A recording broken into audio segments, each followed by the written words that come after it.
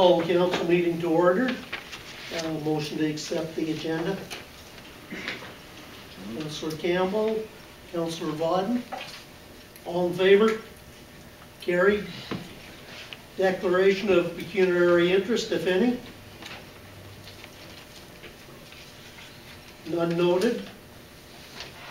In, for the Reeves report, um, I got a letter uh, from the Salvation Army, and they're doing a couple of training courses uh, later in the month. They're exact dates, the 25th and 26th. And that they are taking care of all the costs on those training courses, but where the Red Cross uh, is called upon in an emergency to provide food and uh, things, that this would have people trained, and that uh, it's one of the things that they would like people that, uh, on a first-come, first-served basis, to sign up for those courses before the 15th of October, so that they can have things ready, such as the workbooks for them. Um, Moving on to the reading of the minutes of the previous meeting. Uh, September 16th council meeting and uh, the public uh, meeting respecting uh, the proposed William Creek residential subdivision held on September 18th. Go. Councilor McGowan, Deputy Reeve Breach, all in favor? Carried. Okay, uh, ready for deputations? Oh, yes. Connie, uh, do you want to explain about uh, what we're trying to do? As This well being as- the first North Huron attempt at it. Sure. As well as I can, we are tr- attempting to broadcast live the council meeting tonight. It'll go directly to our um, website, and then it will be up there if you want to watch it later, but it is going live tonight, I hope. It looks like it is anyway, so. Okay, thank you. Okay, Gary? Okay, uh, deputations, uh, first off, we have uh, Mr. Rick Elliott, Chair of the Blythe Business Improvement Area. Reeve uh, Vincent, counselors, administration. Um, Just to give you an- a little bit of an update on uh, the uh, happening of Bly- what's going on at the Blythe BIA. I know that uh, later on in the, uh, uh, in the agenda this evening, uh, you'll be getting a report from our uh, uh, council member, uh, uh, Mr. Dave Reich. Um, But uh, just to give you a a little bit of a, um, a, a, uh, a background as to what I'm here for. Um, We, we found that the Christmas lights on the main street were in very bad repair. Um, So we've uh, come, or we've uh, struck a committee for, um, the Christmas light committee to uh, try and come up with some ideas as to how we can um, uh, redo either the, uh, the existing uh, lights, which, uh, or the existing frames, which apparently are, a lot of them are broken, or come up with some new ideas uh, to um, uh, light the main street of uh, Blythe for the Christmas season. So we've, uh, we had a, uh, a uh, committee report uh, that came back at our last BIA meeting, and uh, uh, I think the committee is looking at uh, some other ideas. We're going to do some outreach to some of the property owners to see if they would uh, uh, be uh, interested in lighting their trees that are um, in the core of the town. Um, There's uh, two or three trees beside the CIBC. There's more trees in the courtyard of the, uh, of the Memorial Hall, which you are the landlord. Uh, There's uh, um, six um, trees along the first block of uh, Dinsley Street on the west side. There's a couple of uh, trees down at the Phillips Studio. Um, There's a half a dozen trees at, uh, beside the car wash. Um, And so if we can try and light up the courtyards or those trees in the, in the core of the town, it might, uh, it might help with the the loss of the lights on the, on the, uh, those decorations, because I think they're very, very expensive, they're about four to five hundred dollars a piece to replace. Um, So we're looking at a lot of different uh, uh, options. Um, Also, to give you an update, the uh, website and uh, media video uh, for uh, uh, the uh, Blythe 365 is progressing well. It should be, there should be a report back to you by the end of this month, and everything should be live by then. Um, I, with, with respect to the uh, uh, uh, the following uh, deputations that we'll be discussing, uh, uh, pretty much the same thing as I want to talk about in, the- from a BIA perspective. Uh, First of all, without, notwithstanding the, the uh, Grandview re- redevelopment project, the BIA is pro-economic development and pro-investment. We'd like to see, um, you know, stuff going on. We'd like to see people taking interest in our community and wanting to invest here and uh, create jobs and also um, um, raise families and that sort of thing. Um, I got a phone call today that uh, there's a rumor that, just to set the record straight, I do not have an investment in this project. Um, I seem to get, uh, um, I guess by, by virtue of being the chair of the BIA, I either own everything and involved in ev- everything or invested in everything. So just to let you know, I have nothing to do with this. Um, We do have uh, a number of concerned members on our uh, that um, want to, uh, have brought their, uh, their comments to the BIA board at the last meeting, um, and have also brought their, uh, voice their opinion to the, the uh, North Huron Council. Um, Just to give you a little bit of historical data, um,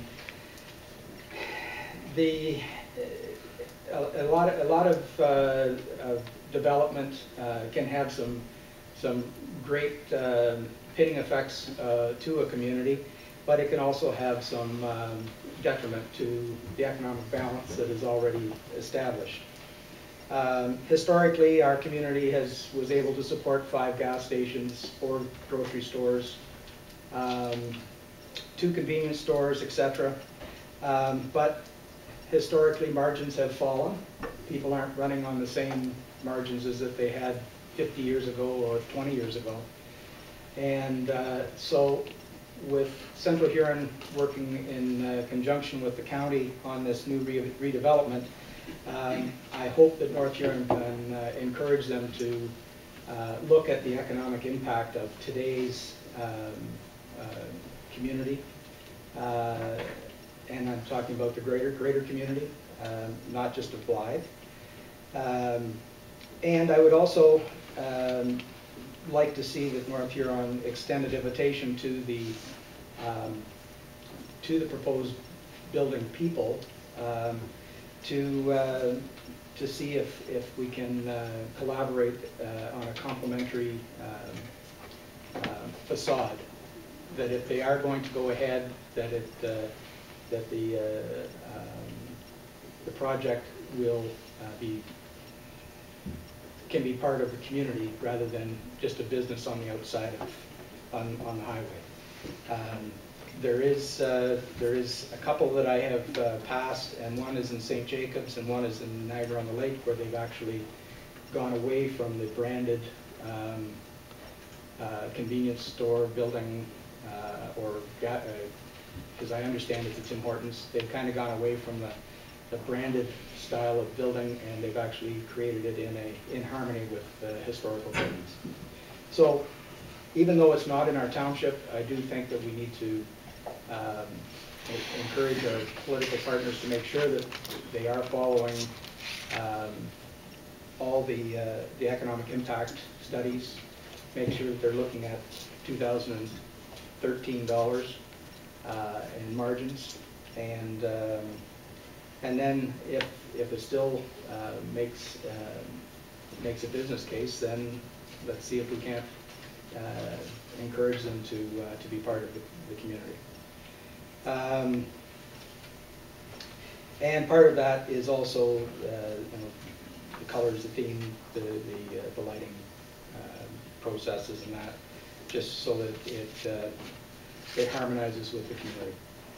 Um, So that's what I wanted to talk about um, this evening, just to make sure that um, from a council standpoint, we do have uh, balance of members that uh, want to, uh, want to make sure that their voices are heard.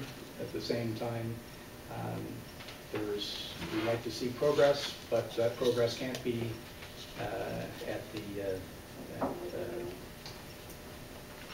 uh, the detriment of, of our members, so. That's all I have to say. If anybody has any questions, I'd be more than happy to, to answer them before I sit down. Thank you. Thank you. Okay, Thanks, Rick. Okay. The next delegation, we have uh, Mr. Ken Warwick. The scrimmagers has volunteered to speak. Okay, Unbeknownst to me, I'm elected. Uh, Reeve Vincent, counselors. Um, It's very obvious that Diane and I would not like to see a new gas bar uh, automated um, on the outskirts of Blythe. Our feeling is that um, the people would stop there, get their gas, get their coffees, whatever, bypass Blythe, not come to our main street. I think it would have a tremendous negative effect on the local village. Just for an experiment, I stopped for a Tim Hortons coffee on the way up. The lineup was so great, I had to run inside and grab my coffee. I drove the rest of the main street, there wasn't a soul on it. That's what happens to your villages. We have not automated, we pump the ladies' gas. We have five, and actually, in our letter was five, six employees involved in our gas bar business. We pay out seventy-five thousand dollars a year in wages to the adults and also the students, that many have gone on and they use this money for their secondary education. I think, in traveling around, how small town Ontario, small town in the world, has been decimated by big box company. There is no question Tim Hortons is big box. If it was a major gas company that was setting up this gas bar, it would be totally automated. They would be in a position to sell their product cheaper than I could buy it. So the council has some major forces in that you supply water, you supply the sewage, I understand there's no agreement to it. You have considerable force to protect the small merchants of downtown Blythe. Please exercise that. Thank you.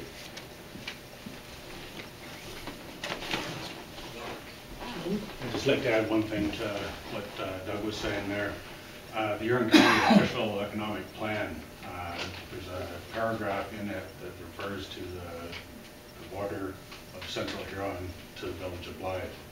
And it states it right in the official plan that Central Huron will not allow a business to go into the border of the village of Blythe that's going to directly compete with businesses, existing businesses in the village of Blythe uh, with a variety store, a restaurant, and a gas bar, they're competing with everybody. That's, that's already there. There's, there's no doubt in anybody's mind that it's, that it's directly competing. Thank you, Doug, again. Next delegation, uh, Mr. Wayne McClinchy. Uh, Could you just introduce the members of your delegation as well? Pardon me? Could you uh, identify the members of your delegation as well? No, it's my wife Dorothy, my father Robert McClinchy, and my friend John. So I chose to Reeve this, uh, Mr. Vincent, because I, I don't want to miss anything, so. So read Vincent and through you to the members of this council. Thank you for allowing me to speak on this important matter. For the outset, I am not here with anyone else, and I'm not representing any other business or group. I am here as an individual, and while I am not a North Huron ratepayer, I have been in the past and I continue to be someone who cares deeply about the community of Blythe. That said, my reason for being here tonight is to make you aware of the specific problems that have come up with respect to the Grandview Restaurant development.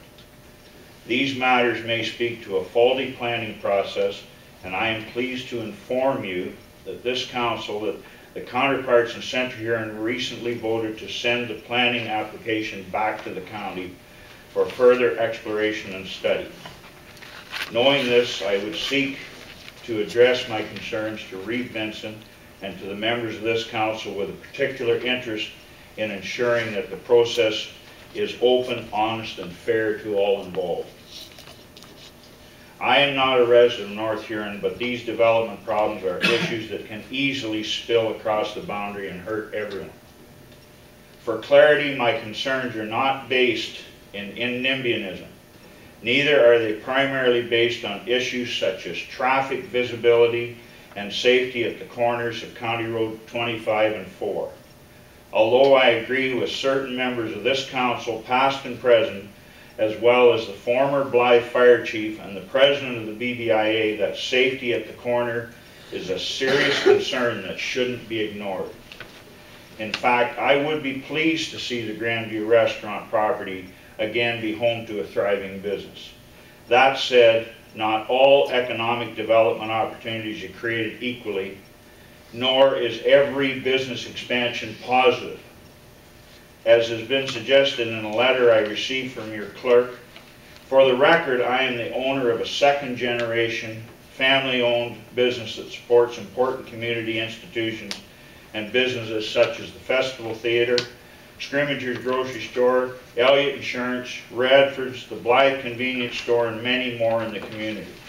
Giving my ongoing support for the community of Blythe, I do not believe that I should be forced to shoulder the negative implications of this development personally or as a business. And that's why I'm here. While I outlined my concerns in my September the 17th letter, copied to this council, I am asking that the council consider the following five points in which I believe the planning, planning process has yet to correctly and adequately address. Number one is the water runoff. Based upon the rendering of the development, I have concerns with the amount of water and snow that will be displaced from the Grandview Restaurant property onto my own. This is especially acute given the fact that the property, my property is a former swamp with a high water table. Unfortunately, the two existing catch basins are located up the hill to the north, which will be useless unless the displaced water were to run uphill. Secondly, is a snow load. The developers plan to construct an 18 to 20 foot wall slash fence, assuming the cement portion of the wall is built to the equal in the existing grade to the north of my property, presents a threat to my home and business. The developer's plan calls for the construction of a concrete wall to be topped with a wooden fence running along what the developer believes to be the property line. Unfortunately for me, the prevailing winds are north and west, and given the geography of the properties, this means that the snow that would traditionally blow through the corridor between the buildings will be stopped, forcing it to bank up on my property and buildings. Number three is visibility. Financially speaking, I have been assured that development will set out to devalue my property. Worse than the erosion of my equity is the toll the development will take on my earning potential. The development will entirely obscure, obscure visibility of my commercial enterprise from traffic originating from the north, the west, and the east, and in doing so will eliminate my walk-in and my emergency or one-off business potential.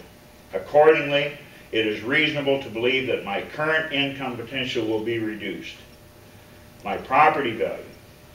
In addition to the lost earning potential that I've already mentioned, my pension plan, which is the property itself, will be reduced in value, which promises to financially impair my wife and I in the future. As just one example, the presence of numerous streetlights overlooking my property will thrust the location into perpetual light, which, while this may not seem consequential, I ask how the members of this council would feel if their neighbor built a 20-foot concrete wall topped with high-power power lights and, and a 24-hour, 24/7 traffic less than 15 feet away from their windows. And the last thing is ownership. I have studied the rendering of the proposal in detail. I have compared the dimensions and proposals against the survey that my father had done several years ago.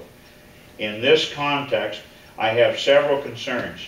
For example, the proposal calls for the removal of my existing fence to facilitate the construction of a new 20-foot concrete wall immediately adjacent to my, to my commercial facility. Now, this may appear routine on paper, but I question the validity of the property lines as suggested by the developer. Put another way, that fence is not theirs to remove.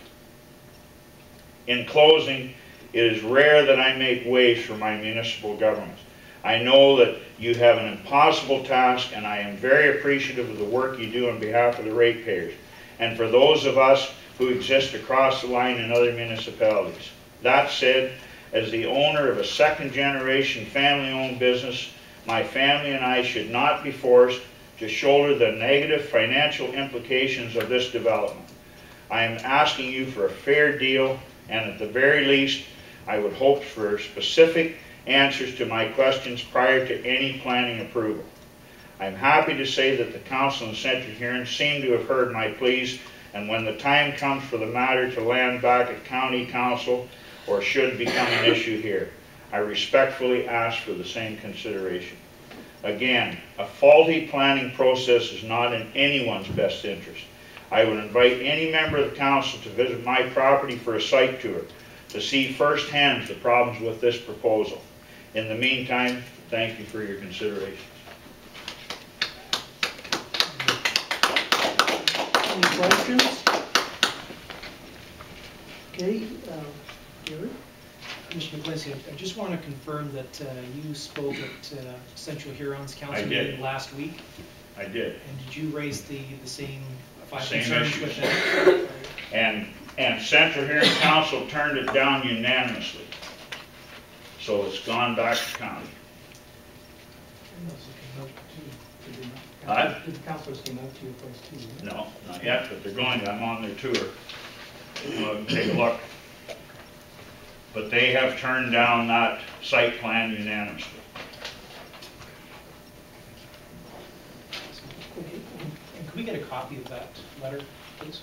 Of this? Yeah. Thanks very much. Thank you, Wayne. Thanks, Mr. Vincent.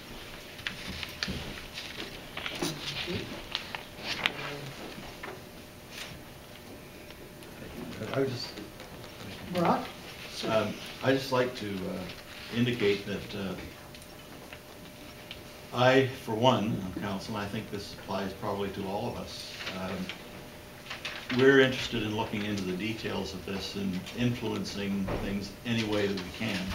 We have, as you know, very limited uh, power to, to deal with the decisions that are made in a neighboring municipality.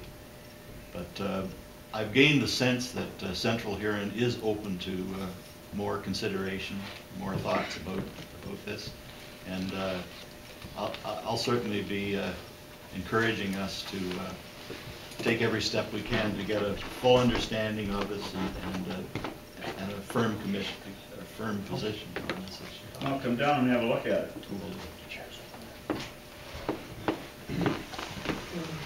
Archie? Wanted to thank everybody that made a presentation. I know that council appreciates getting your points of view and your information. A lot of points that were brought up this evening are um, concerns that I think we've had with the proposal around the table. Although we're, we're very pro-economic development, we temper that by realizing that um, one must be cautious before jumping in feet first. Uh, You know, not only due to the the ramifications for current businesses within the municipality, but obviously safety issues. Uh, In particular, I know I've had a concern about the um, the traffic concerns between uh, Highway 4 and 25 for a great number of years. And I don't think we want to do anything that's going to exacerbate that problem. Um, There was previous uses there before. I'm not sure how much control we'll have to see that Central Huron has over that, those particular issues. Uh, Personally, the convenience store is a bit of an issue because I do not believe that there was that kind of a use there before, and I don't really, from the, the document that was presented, it's not clear how big of a, a portion of this establishment that, that part of the, uh, the business is gonna take up. Fourteen hundred and twenty-five square feet. Okay. So, I mean, there's a lot of questions we all have, and I'm just thankful that at least Central Huron is, is listening to them. I think that's a positive, and uh, I think we're keeping our ears open, and uh, I know uh, our clerk is keeping discussions open with Central Huron's clerk to make sure that they're aware that these aren't just our ratepayers' concerns, there are concerns as well. Brock? I don't want to be discouraging, but when we, uh, some of us were gravely concerned about the closing of our school in Blythe and the establishment of a new school in Wingham, um, we put forth an economic development argument against that change. And the word that we got back was, this matter doesn't pertain to any economic development. We don't care what the economic development implications are. The OMB, if this goes to the OMB for a decision, they won't even look at an economic development argument. Well, that, that's pretty discouraging, but uh, I just like to uh, point that out as a, as a possible factor down the You also do have some control in it that you are the servicing agent on a couple of items. Yes. So before you would agree to that, I would hope that you would justify and satisfy that your repairs are being looked after, Brock.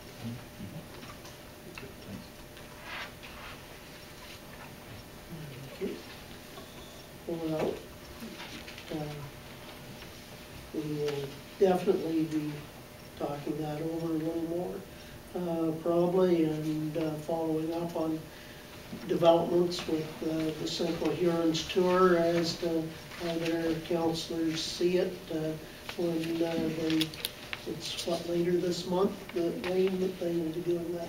Yeah. And uh, so, and personally, I've talked safety concerns with a number of them myself already, so that um, we'll move on to uh, a special presentation. Uh, David, you want to lead off? Thank you.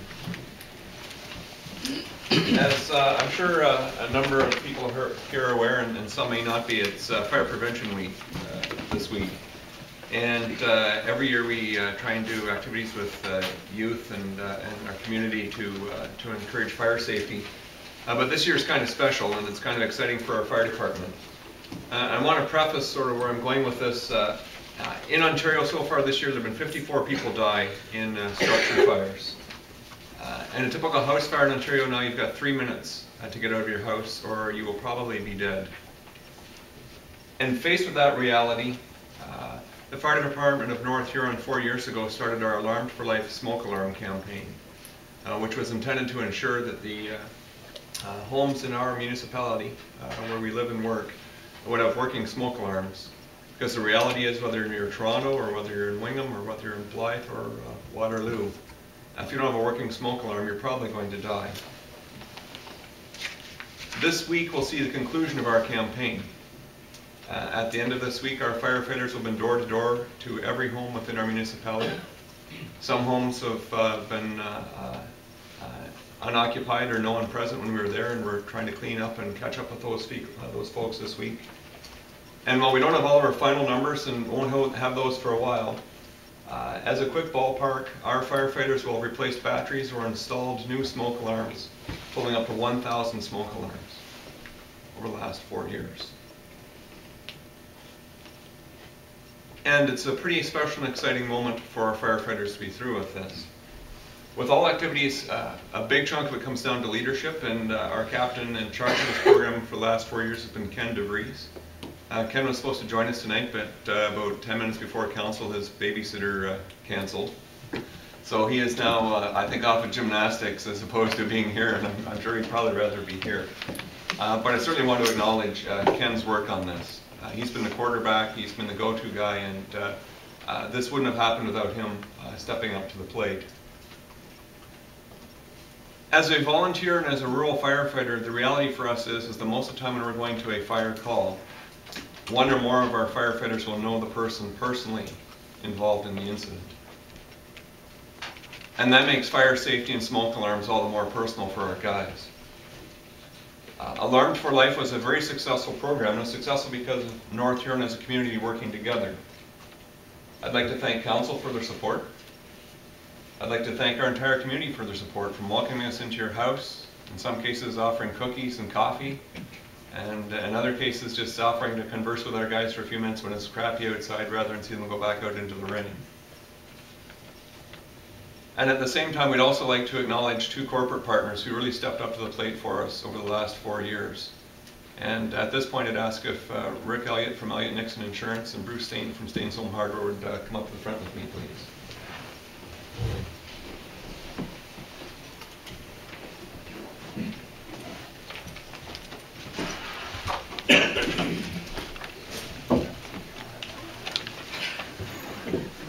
You're safe. Well, on behalf of North Huron, definitely a big thank you to all our firefighters and the leadership they provided. But these two businesses really stepped forward, Elliot Nixon Insurance and Stanton's Home Hardware, so that, uh, I'll read the Elliot Nixon certificate first. On behalf of the council and staff of the Township of North Huron and the Fire Department of North Huron, please accept our sincere appreciation for your generous assistance with the Alarm for Life Smoke Alarm Campaign.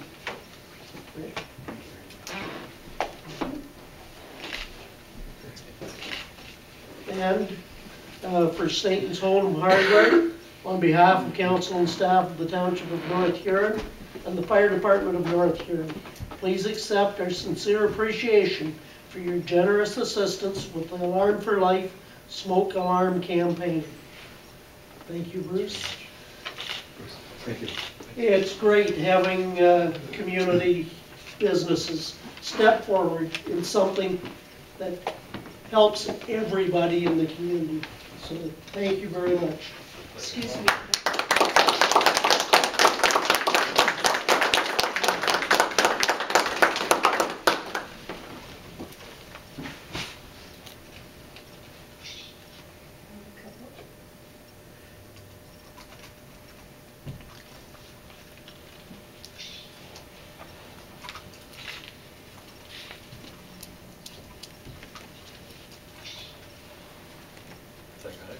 Was gonna ask if my hair was. Um, Just one, one moment before we go. Um, I know that uh, Bruce and I have been involved in this right from day one, and uh, I can't help but get, uh, to say, uh, Chief John Black came, came to us and said that this was, uh, this was important to the municipality, important to the communities. David has uh, touched on it uh, very well, um, that this is personal. This, you know, in my business, um, we repair bricks and mortar bumpers and fenders, but we can't replace lives. And there is nothing more important. Being a five-generation business in the insurance business, we know pretty much everybody in this municipality. And to think that anyone would be endangered, um, just is, is, is not, it's not worth it. So we were more than happy to step up and help the fire department of North Huron and the residents of the municipality. Thank you. We know it's already saved lives. Thank you all very much.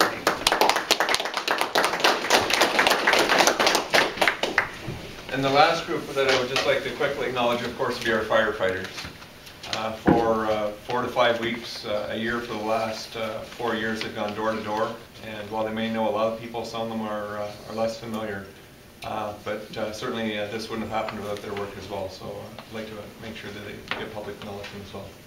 Thank you.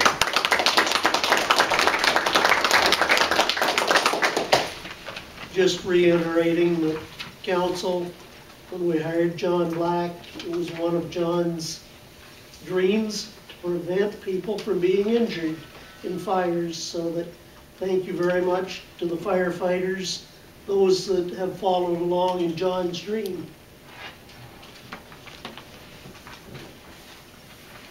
Okay.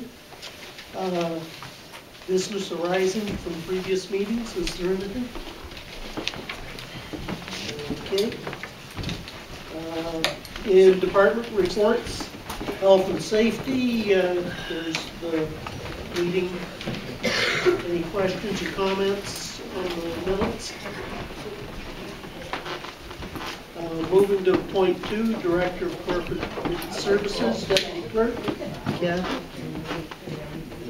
Um, I was just looking for council tonight to handle it in your um, meetings for the month of September. And also included in your report tonight is the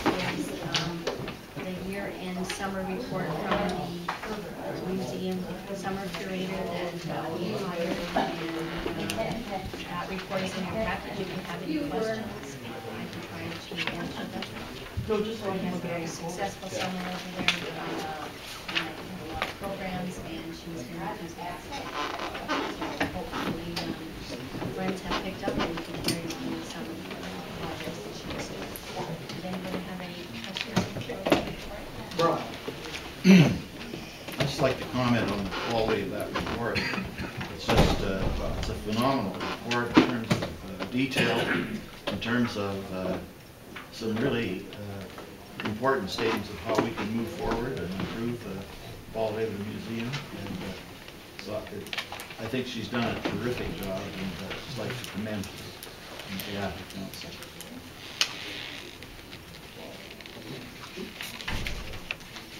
Moving to point three, Public Works. uh, Um,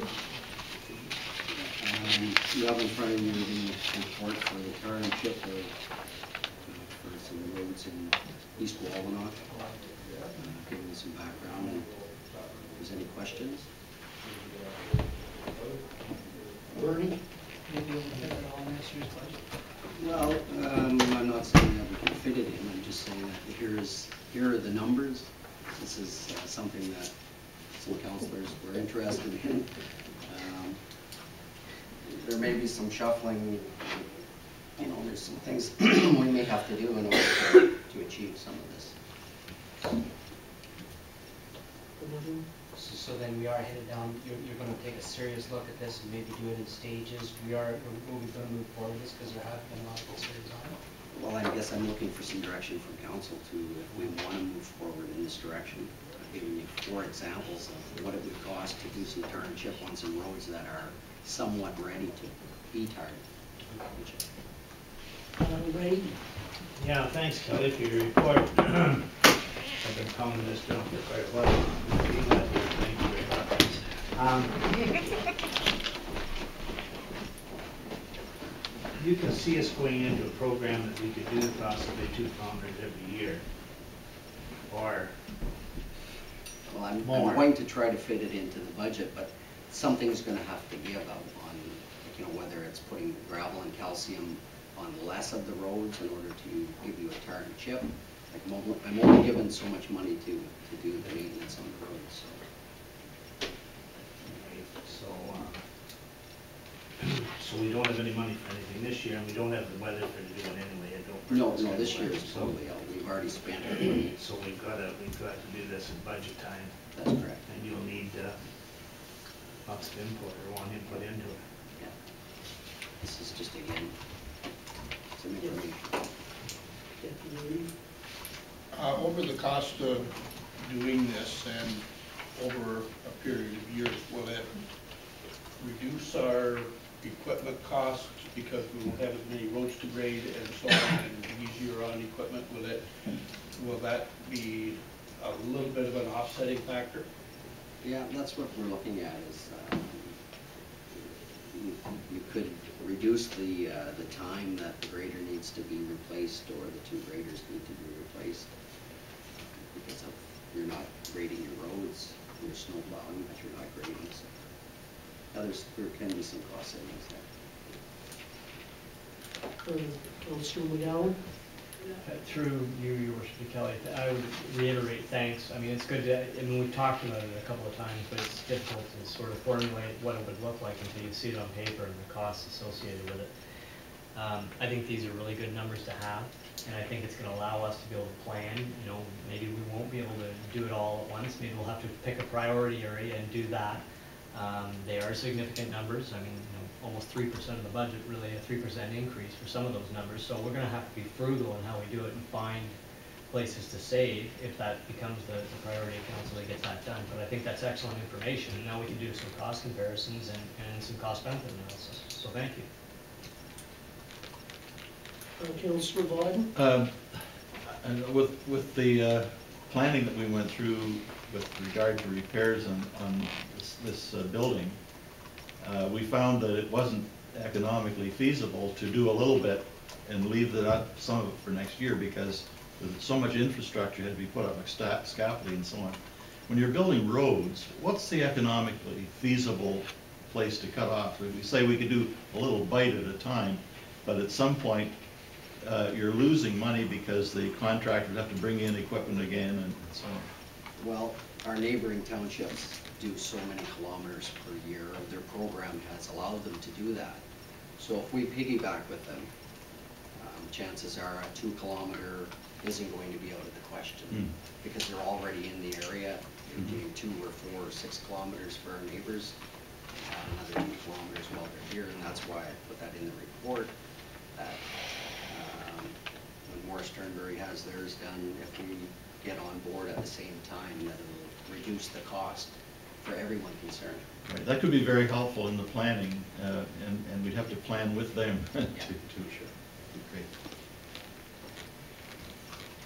Okay, um, that's all questions. Thank you, and, uh, yes, that gives us, as a council, some numbers to look at. And, uh, moving on to the second point, the purchase of, four-wheel drive utility tractor.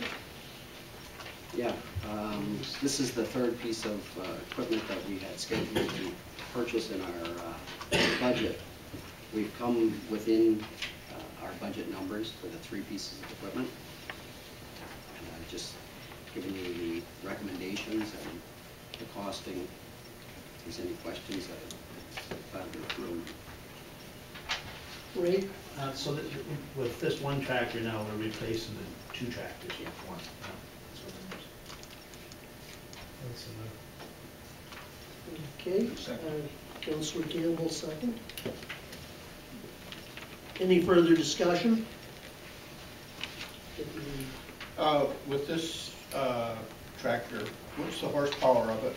And, uh, will it, uh, pull the uh, twelve foot more? That's exactly, good question. That's, uh, it's a thirty-five horse, and, uh, it'll definitely pull the twelve foot, which will reduce the hours that are being accumulated on the ten horse tractor.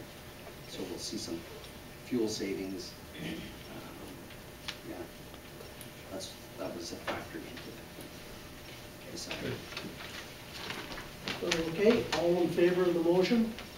Carried. Okay, uh, moving to the Fire Department of North Huron, Department update, David? Um, You have your reports uh, in front of you. Uh, You'll notice the lovely color map that when it is color looks really good, but when it's black and white looks black. Uh, My apologies for that, and I'll uh, either do a color print or maybe we'll do a different uh, style of map. Uh, Just a few highlights from the the report. Um, First and foremost, with uh, my becoming chief, it created a vacancy uh, within our department uh, for the deputy chief's position of administration. Uh, Each of our deputy chiefs has uh, two captains from Blyth Station and two captains from Wingham Station that, uh, that report to them. And we posted the position. Gary and two other chiefs from the area were, formed the interview committee. And at the conclusion of the selection process, uh, we're pleased that uh, Captain Chad Krieger from the Wingham Station was the successful candidate. And I asked Chad to join us tonight so that, uh, I think he fixes some of your cars, and uh, you might be familiar with him, but uh, just so if you hear Chad Krieger, you actually know who he is, and, and, uh, and from our perspective, talking afterwards as a selection committee, we're, we're very happy that Chad, Chad put his name in, and uh, from a leadership perspective, uh, deputy chiefs along with me are expected to pull the card and lead the, lead the direction of the department.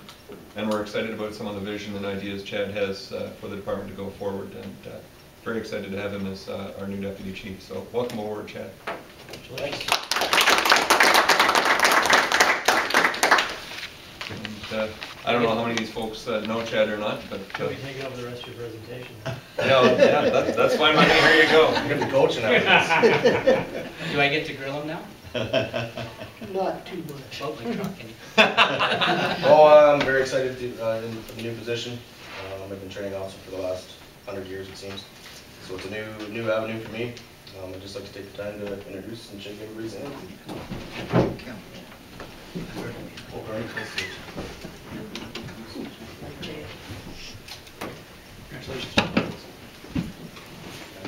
Thank you. Right. Personally, I, So now he's gonna make a run for it. You'll see your meeting now, won't you? Nope, I'm going back to the fire station. I've known Chad as a training officer for a number of years, and uh, thank you for your dedication and the way you have persevered and uh, went on and learned many of the things in the fire service. Glad to see you advancing. Thanks. Thank you. Wish my wife would say the same. Thanks, guys. Thanks, Chad. Thank you, Chad. Um, Just a couple other uh, uh, points of uh, sort of highlights. Uh, We've been talking about uh, Fire Prevention Officer Egan uh, initiating uh, safe buildings for a safer community. And uh, to that effect, uh, he has initiated several uh, inspections uh, to ensure safety and compliance uh, with structures in our community. And certainly over the next year, that's going to be very much uh, an active file and an active place within our department. And the other thing, if you go to the training section, you'll notice under specialized training that in the last month, we've had a lot of personnel completing some, some nice specialized training. Fire Marshal's office did a a clandestine drug lab and grow op uh, presentation at the uh, training center in Blyth uh, for over two nights. We took the opportunity to split our, uh, our stations in half, and each night, uh, half of each of the stations attended this presentation. It's pretty scary and pretty eye-opening, the sophistication and the danger associated with these places. And rural areas are certainly not exempt from it, and it was a very worthwhile presentation and and for the safety of our guys and and, as a department. The other thing you'll notice is, is that we are, I don't want to say beat the clock, but the uh, Ontario Fire Marshal has uh, mandated that April 1st, the existing fire curriculum will uh, cease to exist and be replaced with a new one. Uh, Prior to April 1st, there's an opportunity for us to get our firefighters' uh, training wrapped up under the current curriculum, and they'll be grandfathered into the new system. We don't know all the details, but over the next few months, you're gonna see a lot of guys taking firefighter uh, uh, Module A and Module B courses. Uh, Because while no one's sure, one thing is, is for sure, if they've completed it, they can sign on and move forward. And there is some anxiety if they haven't completed it, what does it mean if you're, uh, if you're partially through and and not complete? So you'll notice over the next little while, we're, uh, we're getting guys through to have them uh, fully, uh, fully accredited under the current curriculum to carry forward. And the, uh, the last note is, is that uh, with Chad's uh, promotion and the retirement of Captain Steve Redmond, there are two captain's positions now open in Wingham Station.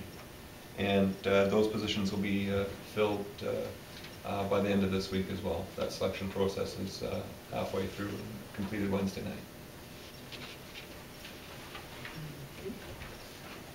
Any questions? Just David, if you could outline the, uh, sort of rundown for next Wednesday's swearing-in ceremony. Certainly. Well, you're getting a formal invitation uh, tomorrow afternoon uh, by email, but uh, next Wednesday uh, at the Belgrave Community Center, both stations will be coming together. Uh, We've got several significant retirements within our department. I think if you add up the years of service of the four individuals, you come to about 100 years of service. So those, those are fairly significant. We want to make sure we recognize those properly. We've got uh, firefighters to be sworn in who have completed the recruit training. Uh, We've got captains and uh, uh, deputy chief to swear in. And likewise, we've got some firefighters who are still uh, carrying on with the fire department that have got 20, 25, and 30-year service awards to be, uh, uh, uh, to be handed out in a- acknowledgement uh, to go with that. Uh, Time will be next Wednesday at 7:30. Like I say, formal invitations go out uh, tomorrow to council, and uh, uh, to firefighters and their, uh, uh, to retired fighter uh, families as well. Thanks.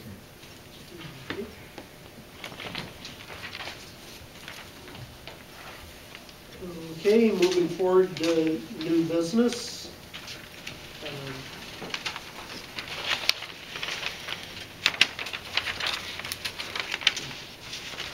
uh, the Southwest Economic uh, Alliance, WEA, uh, has requested a resolution for the need for better intercity transportation options in southwestern Ontario. Uh, Basically, uh, part of it was spurred by via cutting a number of the trains out of southwestern Ontario. But as well as that, we've even lost bus service uh, between the towns and the cities. so, um, What is your pleasure?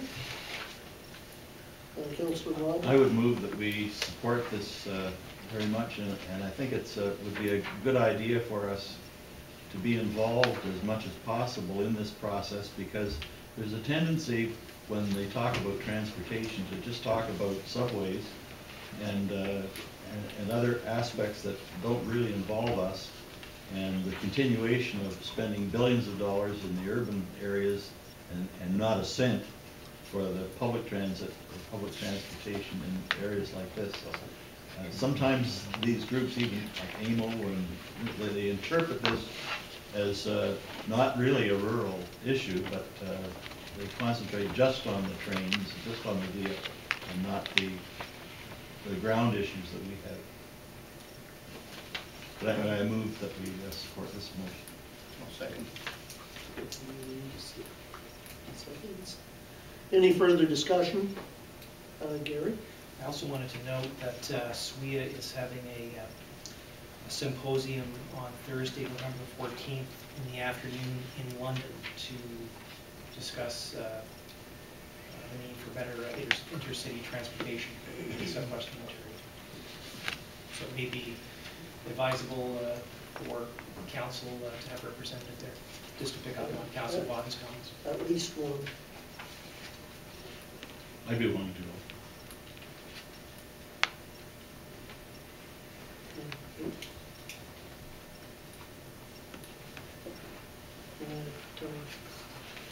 All in favor? All in favor of the motion? Carried.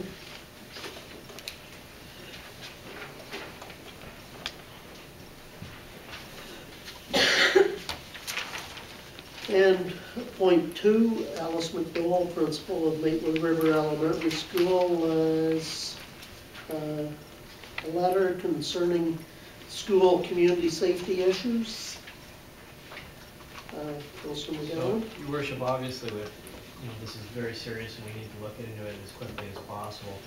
Um, I wasn't, I was away or, you know, not even involved in a lot of the planning process once the school was started.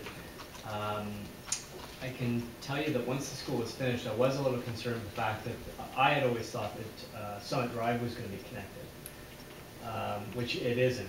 And I don't know what transpired, and I, I wouldn't mind, I know I talked to Gary today, and he's gonna be acquiring some more information sort of on what happened um, between the school board and, and I know there was a traffic study that was put together, and I know a great number of neighbors around the school had, you know, serious concerns that exactly what we're seeing happening was gonna happen.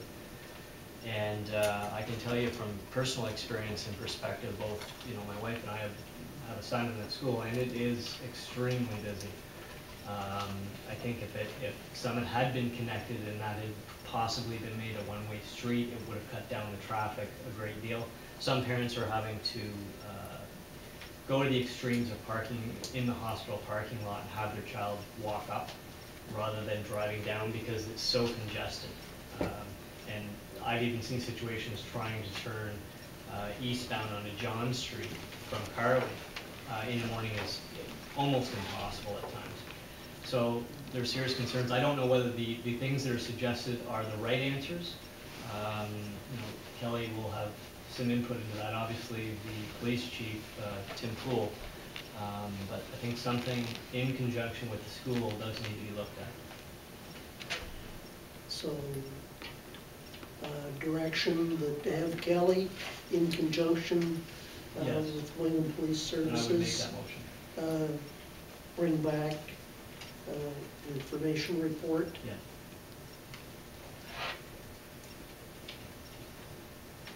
Uh, I, I would just like to see the, the traffic report, uh, and everything that she's asked for here, other than the crossing guard, we can, we can do like right away.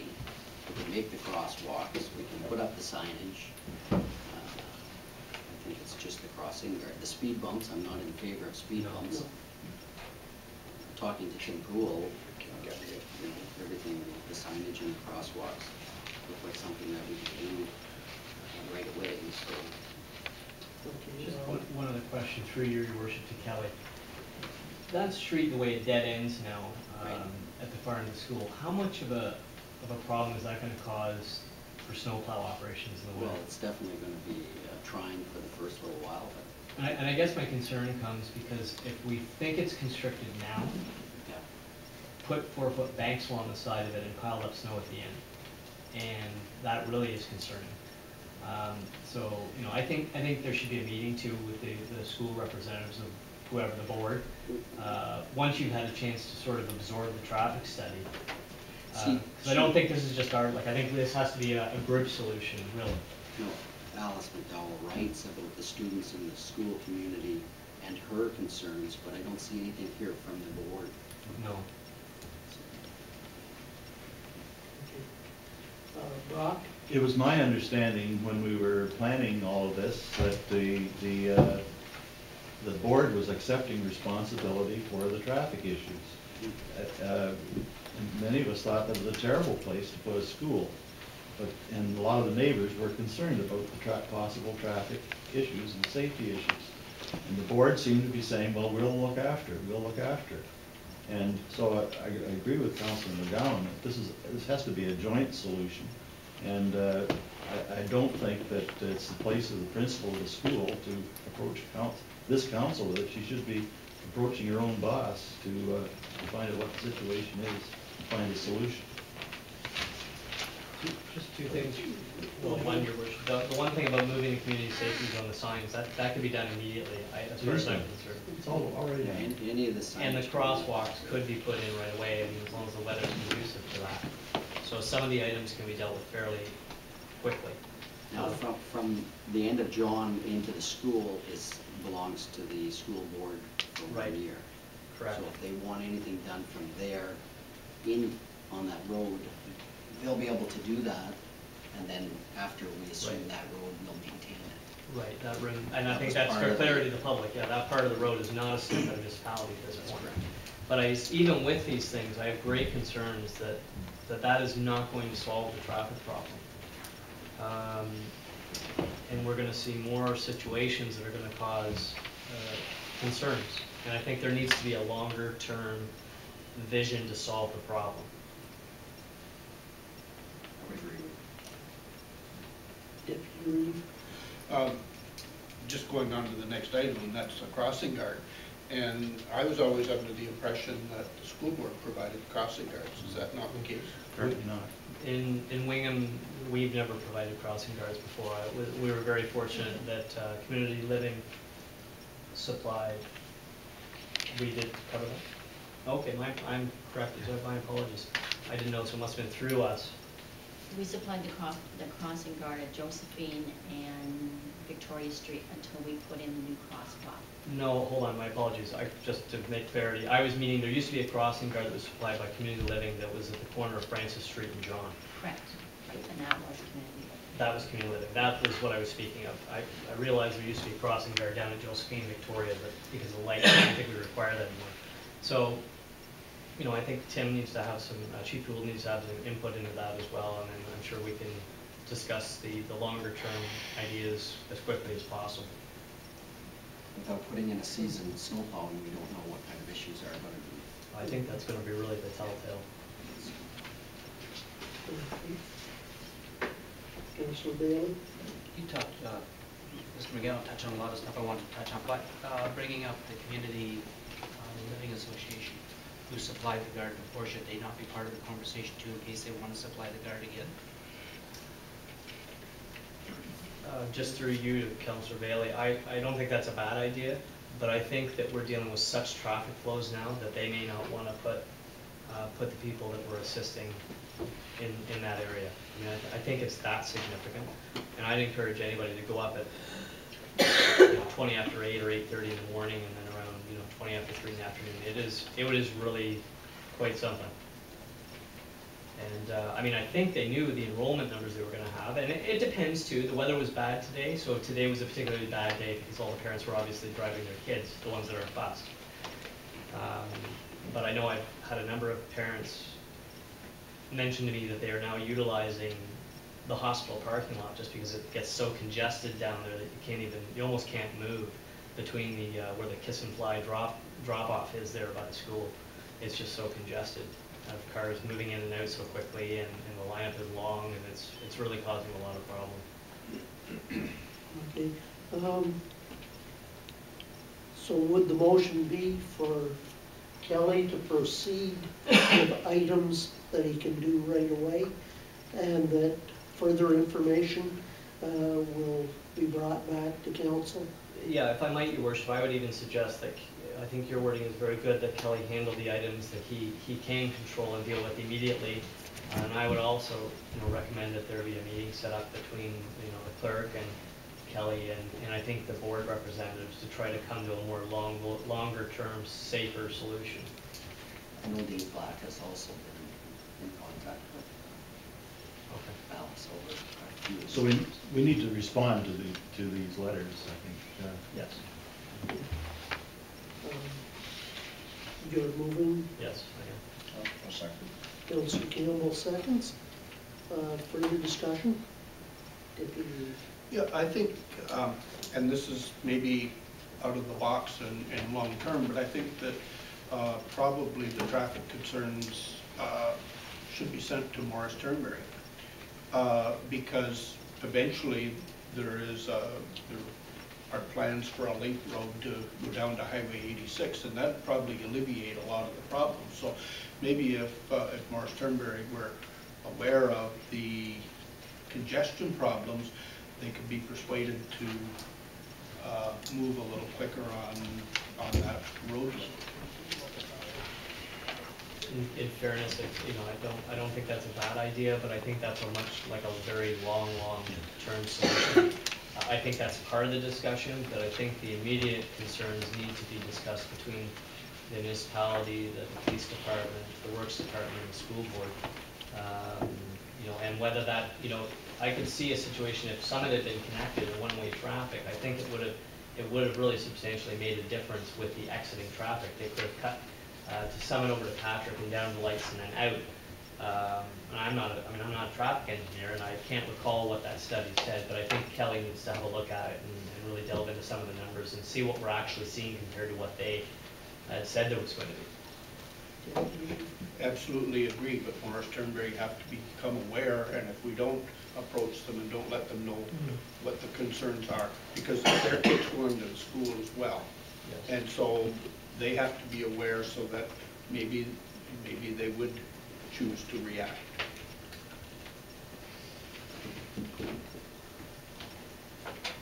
Okay, we have a motion. All those in favor? Carried. Okay. Just a couple of points, Reed. I uh, circulated this letter to, uh, to senior staff, including uh, Chief Poole. And Chief, Chief Poole responded and uh, acknowledged that uh, he and um, our Director of Public Works have discussed items one and two. Uh, Chief Poole also indicated that uh, he, he is supportive of a, uh, a crossing guard. Uh, And uh, he deferred the issue of speed bumps to uh, Director of Public Works. I Also wanted to mention, just in reference to the Summit Drive, uh, that uh, in 2010, there were several uh, site plans that were proposed and were revised based on discussion between the various parties. There were a couple of conceptual plans that included uh, Summit Drive extension. but I think they were put on the uh, site plans as sort of a, sort of a conceptual plan for future development. And I know there were, there weren't, many- there were, were not many discussions uh, between the school board, the municipality, the engineers, the planners about the Summit Road extension, Summit Drive extension. It was primarily about the John Street extension. And anything regarding, anything north of John Street extension was considered future development. So they put together these uh, site plans that uh, were really sort of futuristic, just by way of background. Sure, Uh, I, I mean, my only concern is that clearly ever, there was concerns about traffic and now it's sort of come to fruition and we need to deal with it as a, as a group, so. Sorry, if I- if I may as well, uh, the school board uh, had their engineer prepare a traffic impact study. There was one done in- in April 2010. That uh, traffic impact study was sent to our consulting engineer. He reviewed it, made a number of revisions. Those revisions were incorporated into the final revision, which was produced in September 2010. So uh, I flipped through the uh, traffic impact study from September 2010, and of course, they've, they've included uh, intersection movements and uh, traffic forecasts and pedestrian forecasts, and uh, based on the study, they feel that uh, traffic and pedestrian operations along John Street will continue to be adequate after the completion of the new school, and appropriate measures have been proposed to service the transportation needs of these facilities. Just, just FYI. And I, and I do recall, if I might, your worship, that what, part of that was the municipality extending the sidewalks down, which we did. Uh, that was part of that recommendation, if I recall correctly. We certainly complied with Yeah, uh, so, I mean, it's, it's great that the engineers from both sides thought it was gonna be okay, but clearly in, in, in practical terms, it's not. So, um, I think the quicker that we can sit down and discuss the issue and, and try to plan on how we're gonna deal with it, so that there's nothing, um, we can come up with a solution that alleviates it and nobody gets hurt, I think that we need to be quick about it.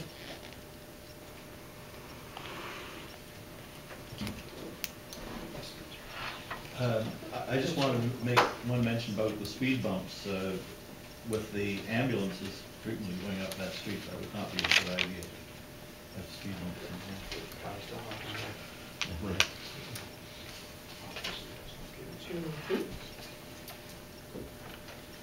Moving on to council information, points that councilors may want to bring forward. Uh, Councilor Helen. Number five, um, Lee Benson, that uh, Sylvia Jones uh, ag recycling program. I think we should be supporting that. Okay.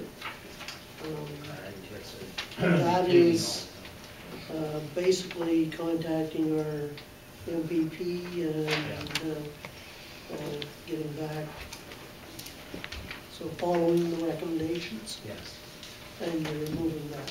Yeah, I'll make that a motion. Do I have a seconder?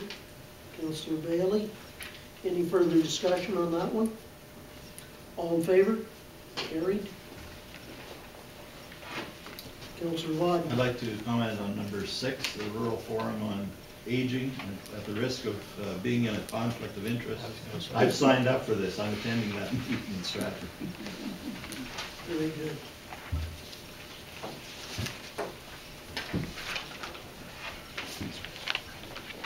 Okay. That, uh, I'm going to make a comment on number eight, that I'm not sure when the municipality, uh, got a copy of, uh, the request for the up to five people to attend the conference that, uh, for number eight, the Ag Ambitions uh, program. Uh, To my knowledge, information on that was unavailable uh, at the end of the international plowing match.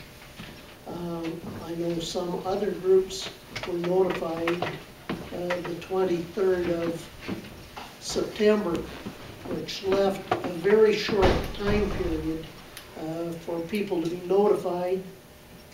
And one of the things that bothers me as a counselor is the number of things that the de- the deadline has passed before we even get it. Um, That, I know that I will be bringing it up, uh, at committee of the whole day one, uh, county on Wednesday, but, uh, that there's a number of people in North Huron that fit the qualifications very well, that are starting into agribusinesses and that, uh, I would have liked to have been able to have told them that, uh, there, there was that opportunity where such a short window, uh, for applying, uh, was made available to them. And when the window closed, the second of October, um, I'm not sure that we, we should be wasting paper, uh, on even, uh, printing it, uh, when there's nothing we can do about it after the fact. And that's something I'll take up with county. Is there any indication of who, where this came from? I couldn't see any on the Um, paper itself. It's part of the county uh, trying to do something towards youth training and employment. Uh, There was a subsidy program came out. Uh, There was advertisements for a person to run the program, uh, done the end of April. They hired a person in August and this is the next thing I've heard. Uh, So that it's a, it's a program, but I don't think it may be geared to getting to the people that I believe really uh, should be part of it. Uh, This conference that they're wanting two people, or five people to go to, and they're talking about students, but this is a Wednesday and Thursday, 16th and 17th of October. Uh, It seems too much like a last-minute thing uh, to finally get something done because nothing else got done.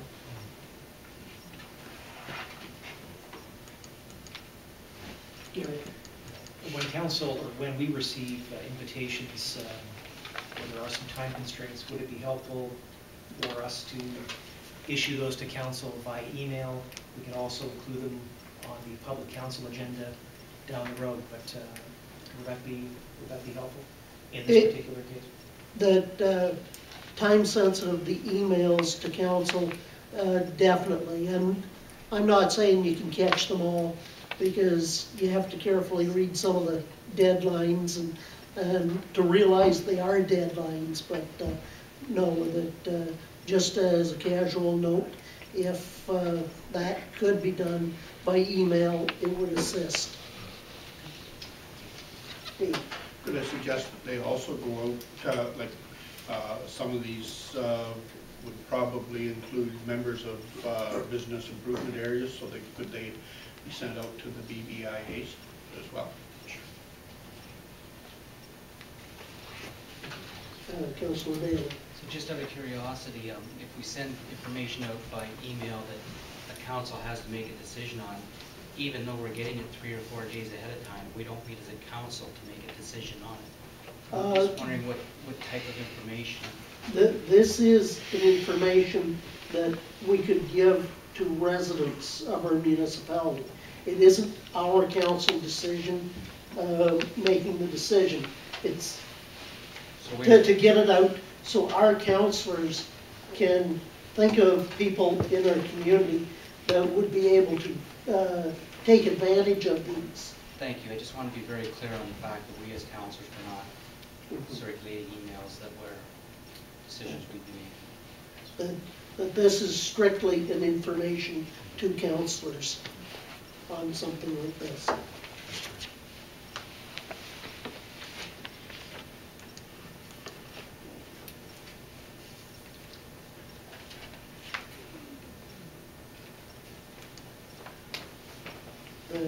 Is there any other points? uh, Number 10, the June Callwood uh, Outstanding Achievement Award for Volunteerism. The problem we have is picking between so many people that we have that have done a lifetime of volunteering and uh, being a strong part of the community.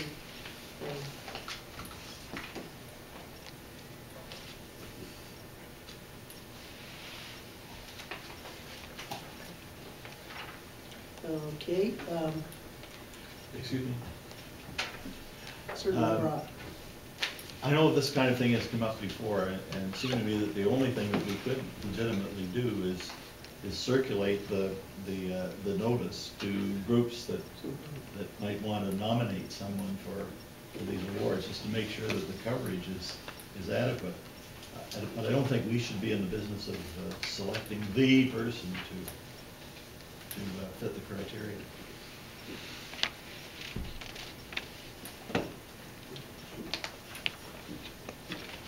if uh,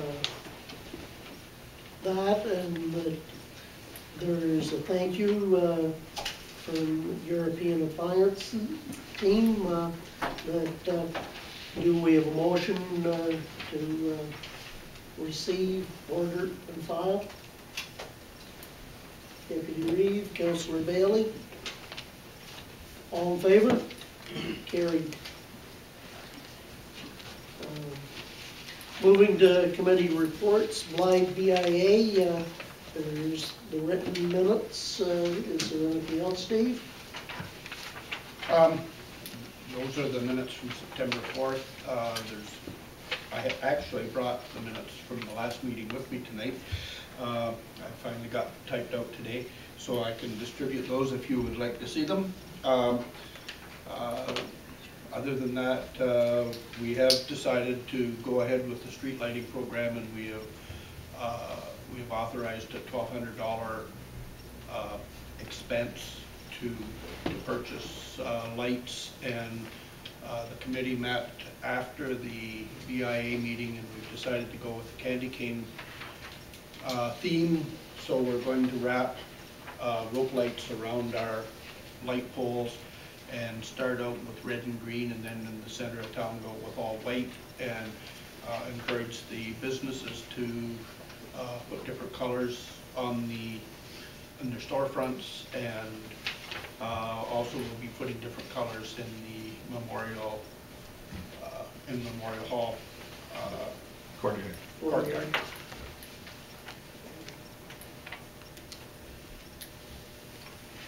Uh, Quick question for, for uh, Deputy Reeve.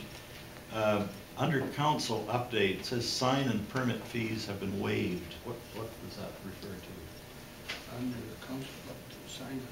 Oh, uh, the Blyth Business Improvement Area uh, purchased another um, sign to put at the north end of of Blyth, and uh, I had called Dave Black to, to talk about getting permission to put the sign up, and uh, he said, put it up and he'll waive the permit fees and so on. Oh, that's good news. Okay, thank you, Dave. Um, Moving uh, to the Health and Safety Committee report of September 26th. Is there any questions? Okay, uh, moving to the Maitland Valley Conservation Authority report, there's minutes from July 17th and September 26th.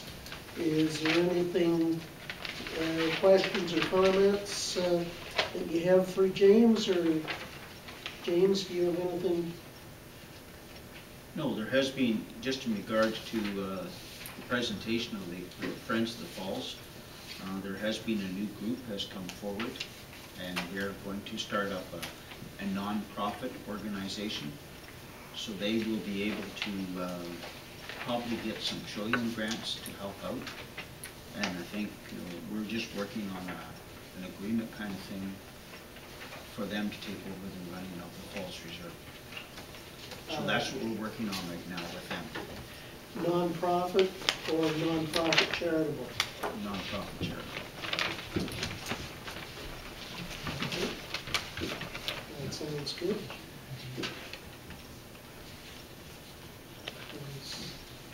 Dave? Just a question for Counselor Kim. Uh, There was the, uh, the rope climbing and all that out at the Falls Reserve. What's happened with that? It's still going. Uh, It hasn't taken off like they, they assumed it would, but it is still really struggling. So, I'd like to follow up on that, on that question. So is this new group going to be responsible for that program entirely as separate? It's entirely separate, yeah. So there's a, a board of directors for the, for the know there challenge? I know there is. Yes. And they don't seem to want to meet with Maitland Valley, okay? Or uh, HVDC? Or anybody else, maybe? Yeah, great. Yes. I know they had a hard time last fall because some of the teachers, not last fall, a year ago, uh, the teachers did not want to do volunteer programs outside of school hours. So a lot of the ones, a lot of the programs that they had booked to go to, they did not attend. So they lost a lot of money there, which they had planned, of in their books, that that's what was going to help them out. They're still struggling. Okay, thank you. Uh, Moving to council reports and inquiries.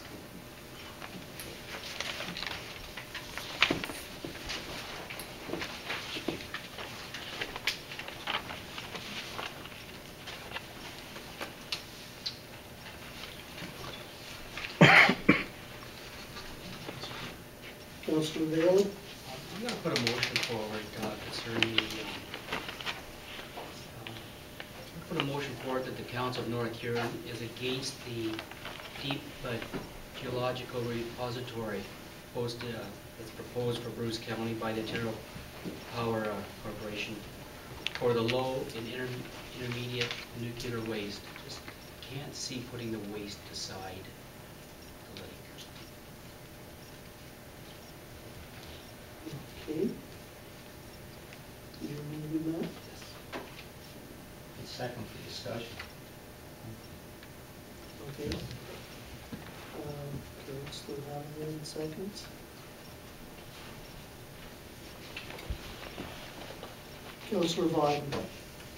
Um, I understand that the, the concern that uh, some people are raising about this, uh, I think that's been pretty well negated by the fact that storms don't affect underground uh, situations. Um, uh, So that, that's, that's an unwarranted uh, fear. Um, Councilor Dale? Um, Right now in Germany, they thought that too, right now in Germany, they have a real big problem with one of their deposits for doing that, and they've got quite a mess on their hands. I don't know the details of it. I had a phone call the other day to tell me that, this again, everybody thinks a plane's not gonna fall out of the sky, or a boat full of oil's not gonna go down in the river, but um, I see this as a big issue. We're sitting on an earth with lots and lots of deserts, why don't they just put it in a desert? Another part of it I see as a big problem is the fact they're gonna drive right up to Main Street and going in with Goliath to deliver a lot of this stuff, because it's just not only from their own location here, they're bringing it in from all over. I really think it's something we should take a serious look at, and take a serious stand. I mean, there's only so much drinking water in the world.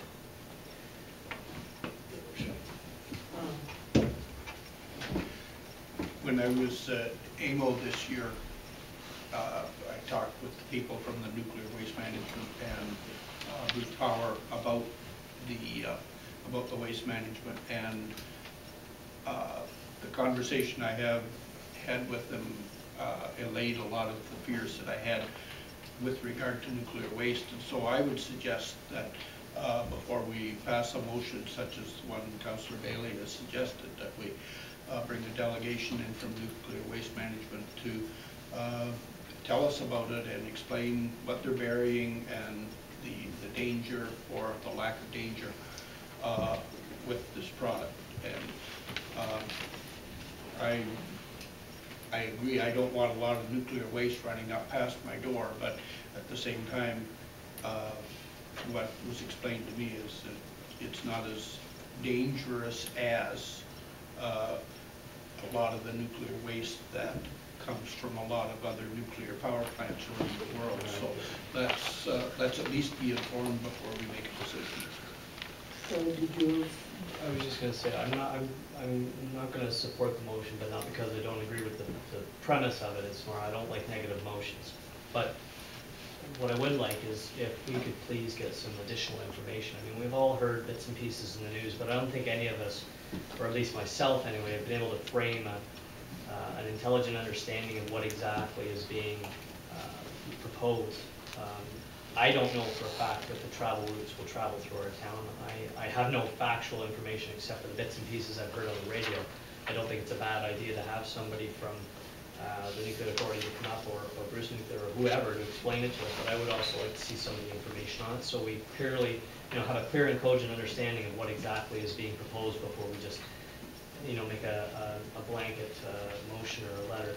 Um, I personally am, you know, equally as concerned about the amount of water that's getting drawn out of the Great Lakes as compared to whether or not they may be contaminated or not.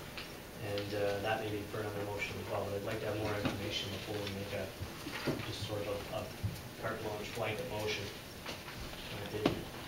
well, for myself, a big part of the nuclear waste is the high level uh, spent fuel. And that that is the information that I have been able to really follow up on. And that I don't really feel that I have enough information on the medium and low level uh, to make an informed decision as of tonight, anyway, uh, myself, so that um, I feel that I need a lot more information than I currently have right now. And that as, is it enough science-based? Um, Deep repositories are one thing. That the tornadoes or hurricanes, uh, the tornado in Goderich was an F three. But what would an F five do to some of the above-ground storages that are uh, currently in place? Uh, It, I think we need more information as to how we we could uh, really uh, come through certain situations. Councillor Malone. The, the problem that we're up against in so many of these areas, like the, the wind turbine issue and so on, is that uh, you talk to one side of the argument, uh, they cover all the bases and they have all convincing evidence. Then you hear the other side and, and they've got their own convincing evidence and, and they all, at least most of them claim that they're legitimate uh, in their beliefs. So we have to end up making a decision with uh, probably not enough information, but as much as we can get. So I agree with people in getting as much as we can get, but that doesn't necessarily make the decision for us. Because sometimes it's only the, the force of the speaker that determines which one we believe. I appreciate all the conversation, and I appreciate the fact that you gentlemen are willing to have different ones come and speak to us.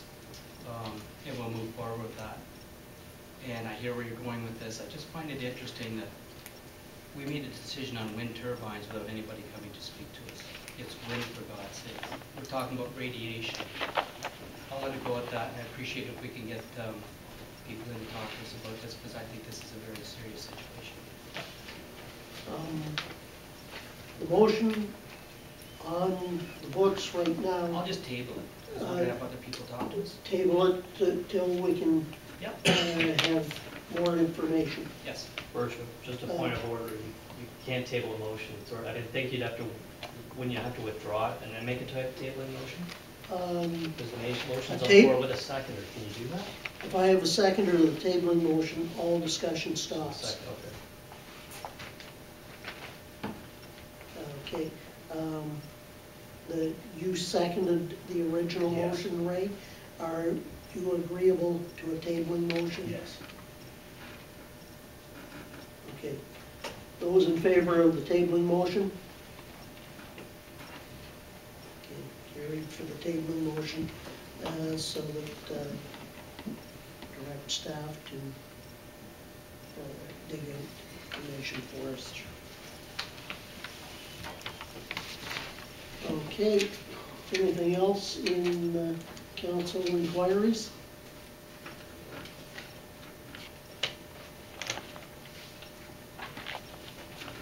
Clerk Administrator's report? Okay, thank you, Reeve. Uh, Just a couple things for the uh, council's attention. On Friday, uh, I received uh, a letter from uh, Rob Enders, Chair of the North Huron Police Services Board. Um, Mr. Enders is announcing that uh, he is resigning uh, effective December 31st. Uh, New responsibilities with uh, his employer uh, prevents him from continuing with the board uh, past the end of this year. So I would propose that this letter appear on the October 21st council agenda for further uh, consideration and- and discussion, but just wanted to make council aware of uh, Mr. Ender's letter. Also wanted to note that uh, the week of October 21st to 25th is local government week in Ontario, and letters were sent to uh, Maitland River, F.E. Madill, Sacred Heart, and Hullett Central, making them aware of the fact that it is local government week. We've also um, indicated that uh, council representatives and staff would be more than pleased to attend their schools and and speak to uh, whether it's a grade five class uh, or a grade 10 civics class. I believe that uh, we were invited to two or three schools uh, last year, were were certainly received well. Hopefully we'll uh, get the same response. We'll certainly do a follow-up phone call to the schools as well. Also wanted to mention that uh, I will bring forward more specific information regarding alternate voting methods at the October 21st council meeting.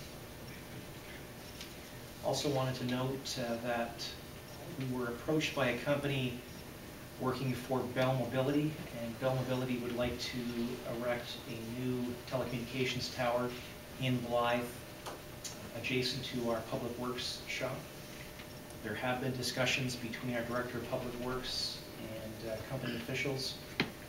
So at the next meeting, you will see uh, a bylaw and an agreement for your consideration whereby we would be entering into a contractual arrangement with Bell Mobility for the installation of this tower. This would provide an additional uh, $14,000 in revenue to the municipality.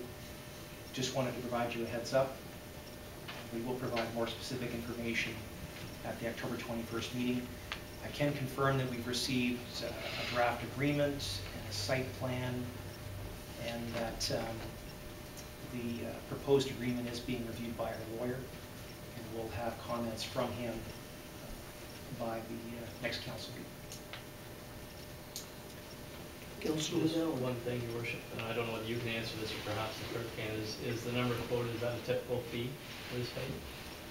For communication tower? It's our understanding. Yes, certainly, certainly had it.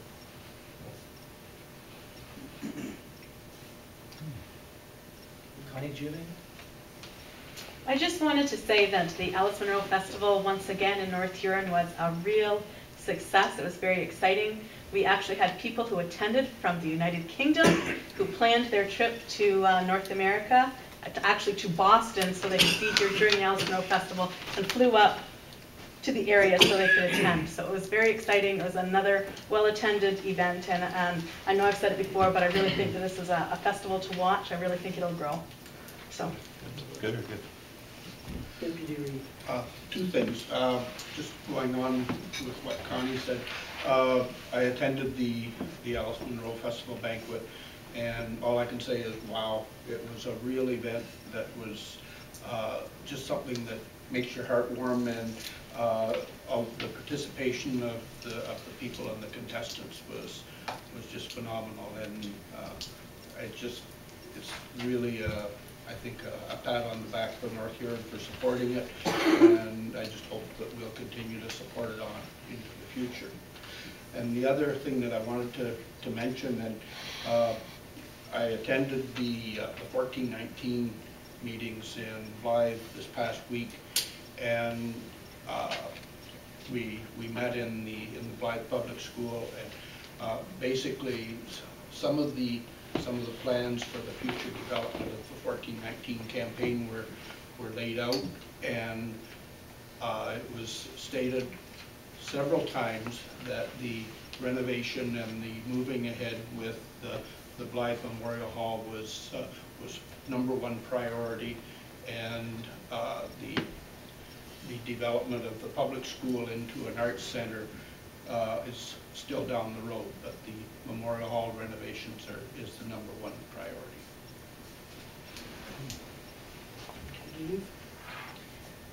Gary? Just uh, wanted to mention that your agenda indicates uh, that there will be an in-camera session. There's one item dealing with uh, identify- identifiable individual, specifically a property tax sale. Uh, I do have one more in-camera item dealing with identifiable individual, specifically uh, Fire Department North Huron personnel. Thank you. Councilor Downs?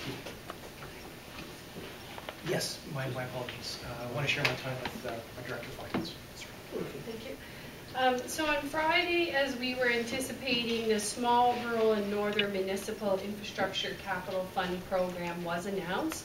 Um, As we anticipated, there's a short turnaround time. The um, expressions of interest have to be back into them by November 1st. Um, So again, it's going to take a lot of work to get that done, um, to meet those deadlines, of course. Um, there is seventy-one million dollars in total capital funding that is available under this program, which when spread out across the, um, uh, whole province, that is still, we're grateful for the money, but it's going to be, um, um, you know, based on a competitive process as well. Uh, the projects are capped at two million dollars, so, um, that would be the most that you would be able to apply for.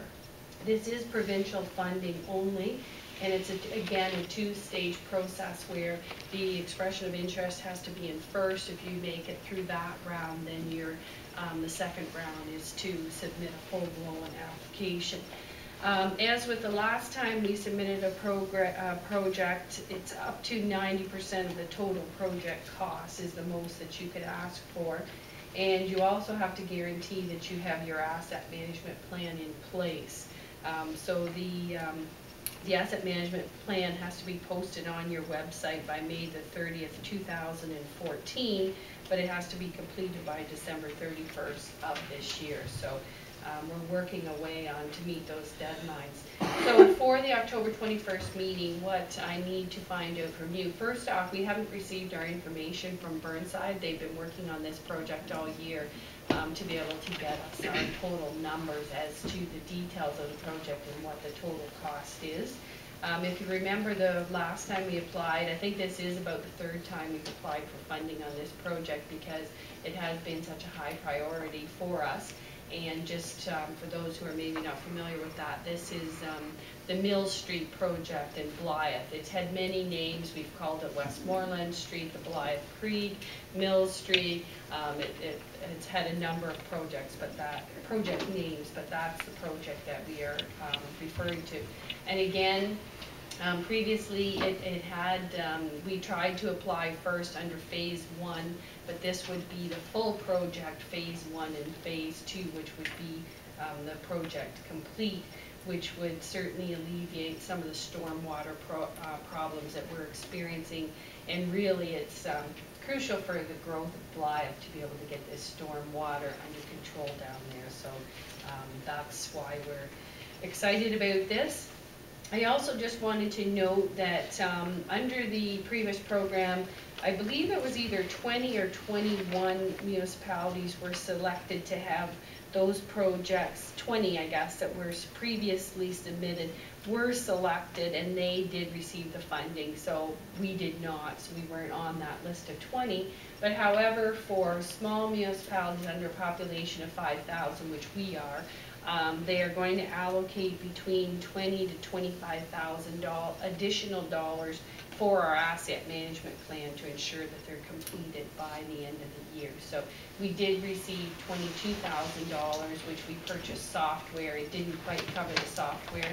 Um, and also the fee to complete the plan at that time was ten thousand dollars, which we didn't have the funds left to do that, so we were trying to do it in-house, so.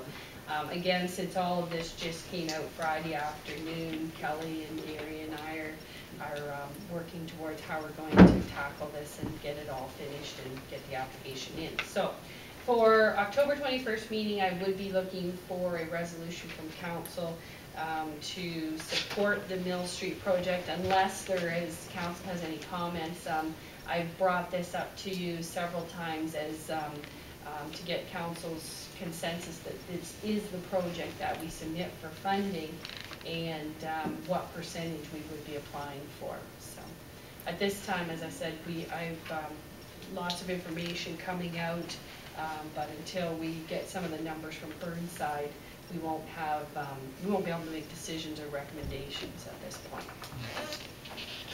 Is there anything else? Okay, that's good. Okay. Is? Yes, thank you. Okay, uh, moving to public gallery questions and or comments. Uh, Okay, Thank you. I'm Luke Schilder. I am uh, multiple property owner in North Huron. And I am questioning what the process is on the severancing of excess farm dwellings in this municipality. I own farms in three municipalities, Central Huron, North Turnberry, and North Huron, and you're the only one that don't allow it yet. And those houses I have in North Huron are rather a pain in the royal, you know what. okay. Uh, there's currently two municipalities that don't have surplus farm residence severances, uh, being North Huron and Ashfield, Colborne, Wawanosh. Uh, When that North Huron is wanting to get that policy in, but when will Sally be bringing stuff back? We should be seeing more information about our official plan review sometime this fall. Council and the community are anxious to see the the final draft of that. And uh, would you be prepared to uh, put your comments in writing, sir? I have. Uh, Oh, you have? I have. That he uh, spoke to Sally at the public meeting, Yes. so. Yeah, yeah, yeah. That she, I'm she on this has, project. that, uh, so that as quickly as we can, Oh, is I the only appreciate thing I that. can say. I appreciate that, you know, it's very well appreciated, uh, but.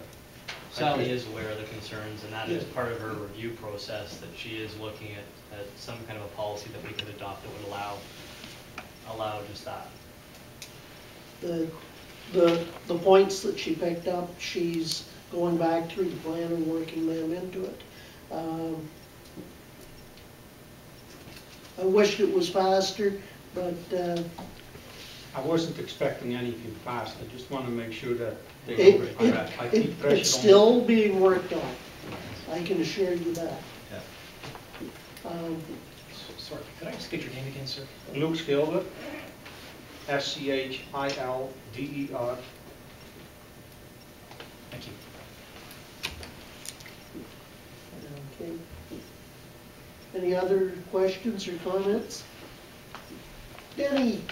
Um, I just, uh, quick question about the, um, the John Street extension is, uh, to Kelly through yourself, uh, is, is the school responsible for snow removal there as well this year, given the one year tempo you get guys provided?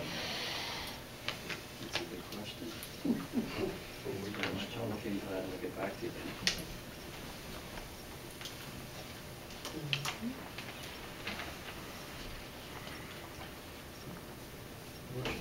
One other to Bailey, but I didn't get a chance to, if, you- if it would be okay right now, if nobody else is the Okay. galleries. Um, I noticed in the minutes there was the comments about the arch, and I wondered if you could give us an update on where that's at, and also, you know, what percentage of the business owners are in favor of going ahead with that project? Do you have any data on that? Um, Not hard data, I have not heard anybody against it at any meeting I've been at. Uh, It's rough figures right now because they have to determine the the softness of the land or whatever to put the foundations in. So everything's basically in its first stages. I believe they're having another meeting just the other night. But I can honestly say, maybe except for Steve over there, I don't think I've heard anybody say anything a- against it. But I mean, we're getting to the point now where we're gonna start talking money, so that's when things will, And, and that was why I was curious, because it was the first time we'd seen some figures, so I was just interested to know how it was progressing. That's good. Thank you. Do you have anything on that or not, Connie? Um, the, the Arch Committee is still working on a plan, um, which includes, um, at this point in time, their last meeting, they decided that they would really like to look at a streetscape master plan and pull some things together with, you know, the stuff that has already been done around the Main Street reconstruction. We did that in absence of a streetscape master plan, but, um, um, wondering if we could pull some of that stuff together, um, before we even go forward with the arches to see if it would actually work. I think that's a really, really good idea. That's something that I think, um, I wish we had had time to do before we did Josephine Street, was a, a streetscape master plan, and unfortunately, we just didn't have the time, uh, you know, to have somebody with that expertise, and I think that's really a, a good idea. Very good. Okay, if there's not... Yeah, on this arch, just wondering, is, is it just the business people that's gonna pay for this arch, or the whole town? My understanding is that the BIA would be taking care of it. So it's not gonna go on the taxpayers' money? No. Gary? And Just, just a point of information, uh, you may recall that North Huron Council passed a motion approving, approving the idea as, as a concept only. And that council's not not bound by that motion to support it Yeah. financially. I feel the streets need more work than an arch. Like I had a child just did on Tuesday, come across the corner of Maple and, um, uh, Center Street rollerblading, and he hit one of them potholes and he went down. If he hadn't had a helmet on, he'd been injured. Now his hands got all scraped up, but he was fine. Like, why don't we get them streets fixed before we worry about an arch? Your worship, uh, as far as I know, the BIA is not responsible though for fixing streets, so I think that the arch is sort of a separate issue, it's their project. And, uh, streets, maybe that area that, uh, the public works manager would be probably glad to down.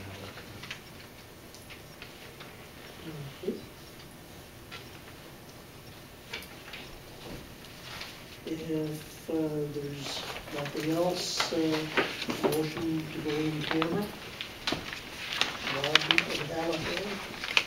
All in favor? Uh, Carried, uh, motion. We will have a short.